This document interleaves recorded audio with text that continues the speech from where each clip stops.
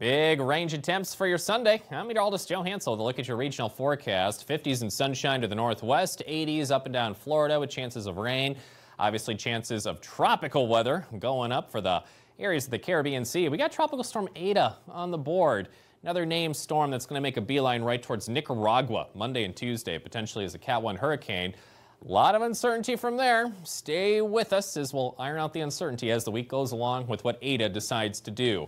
Margin risk of severe weather, one near Cape Canaveral, one in areas of eastern co uh, coastal areas of North Carolina. Large hail, damaging winds, maybe a tornado or two can't be ruled out with a breezy west-northwest winds that's going to take shape. Cold front this morning cutting through areas of Nashville. It will rustle up some increasing clouds, southerly wind, chances for showers and storms.